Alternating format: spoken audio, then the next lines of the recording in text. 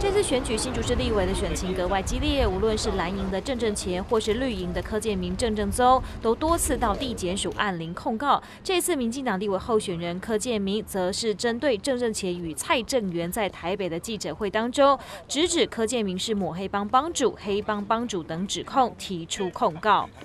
本人在这里今天决定提出意图使人不当选以及加重诽谤，啊，那我在这里先请教曾仁乾，我抹黑你什么？我现在告诉曾仁乾，你现在所涉及这些行者，你自己去评估看看，到底加起来的的行者多少年？多少年？你要去做一个法律评估。郑正前竞选总部由发言人回应，指称这次的选战已经变成互相控告，希望大家回归地方，停止抹黑，更手拿攻击郑正前的文宣，期望别再打负面选战。